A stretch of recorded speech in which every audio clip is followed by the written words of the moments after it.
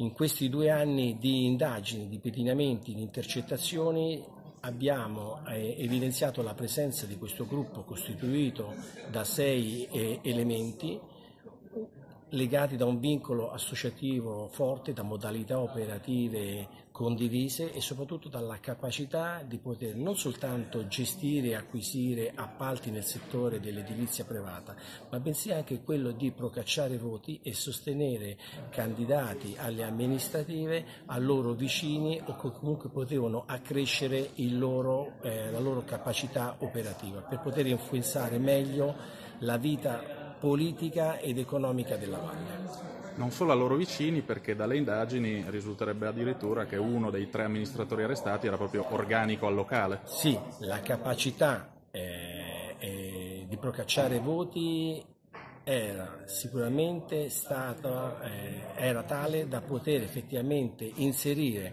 all'interno di un consiglio comunale, quello di Aosta, un loro sodale.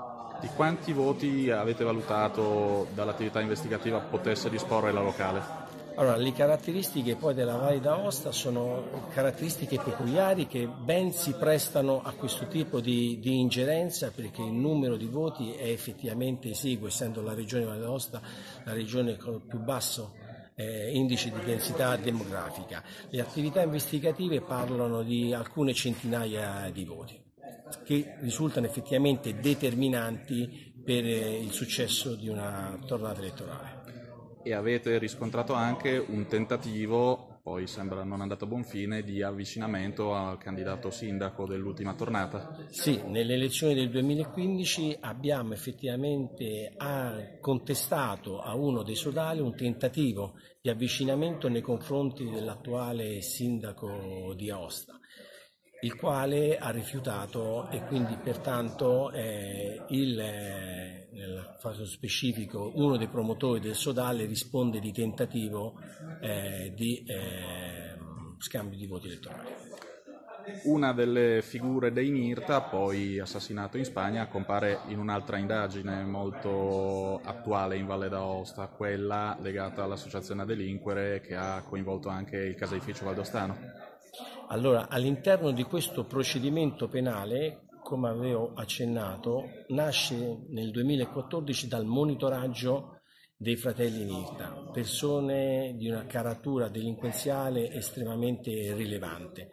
Il loro pedinamento, con il loro costante pedinamento, il loro monitoraggio all'interno di questo procedimento aveva evidenziato effettivamente un interessamento verso l'impresa del casificio valdostano.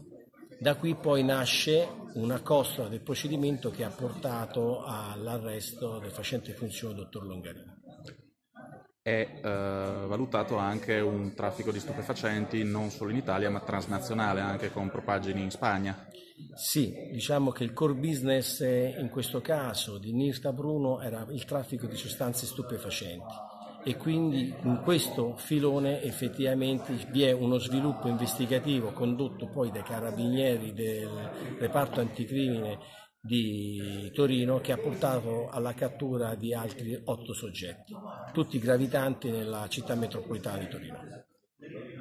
Quindi dall'attività investigativa quello di oggi è considerato non un punto di arrivo ma un inizio sostanzialmente?